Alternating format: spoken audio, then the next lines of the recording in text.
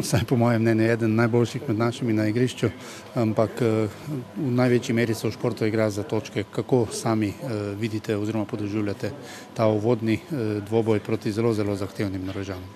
Ja, škoda je bil tistega začetnega krča, ki nas je danes, jaz mislim, stal kakšne točke ali celo zmage.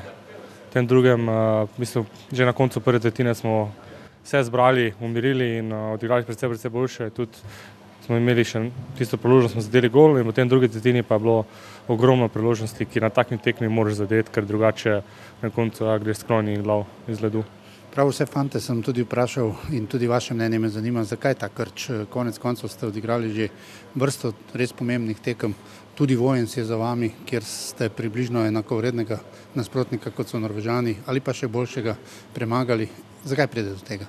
Ah, težko rečem, v bistvu celotna ekipa, to ni zdaj bil posameznik, ampak celotna ekipa in to je bil problem, ne, smo potem mogli vsi se dejansko zbrati in odigrati, ker na igrišču ne, smo pet in golman in če nismo vsi pri stvari, se posameznik težko naredi in to je bil pač problem. Zdaj žal ne vem zakaj, ampak dobro.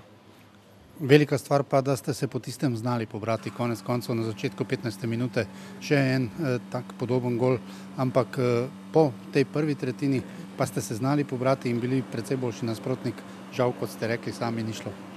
Ja, kot sem rekel, pač nismo zadeli in to je pač bil problem, na takšni tekmi pač take priložnosti dejansko izjemne moraš zadeti, ker drugače ja, težko, da boš osvojil kakšne točke.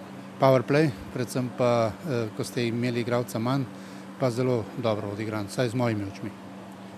Ja, power play je treba vseeno odigrati, dober je, ko zadeneš, ne. na oko lepo ni dovolj, lahko tudi raje grša, ne vem, slabše na oko, pa da zadeneš, tako da to moramo vseeno izboljšati do jutri, ne. Belorusija, nasprotnik, ki dobesedno od začetka februarja čaka na to, da vam vrne za klofuto, ki ste jim jo zadali na Danskem. Ja, zavedamo se tega, ampak smo pripravljeni na jutri, da se ponovno spopademo z njimi. Oni so nekoliko spremenili zasedbo, spremeniti skandinavski slog oziroma se postaviti na skandinavski oziroma na vzhodnjaški slog, je to zahteva velike spremembe, časa ni, oni pa so danes prosti. Ne, v bistvu mi igramo svoj sistem, tako da tu ni kaj neke odkrivati tople vode, tako da mi moramo biti pač tisti ta pravi, igrati svojo igro in na ta način bomo potem lahko zmagali. Hvala ti. Hvala vam.